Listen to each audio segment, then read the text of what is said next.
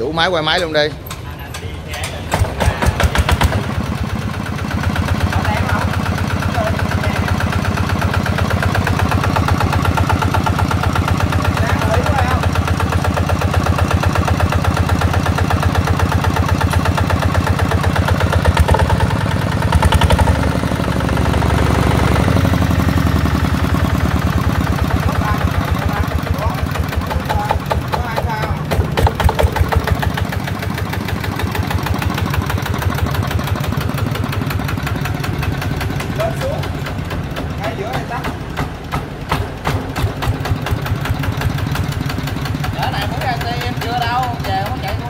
Trơn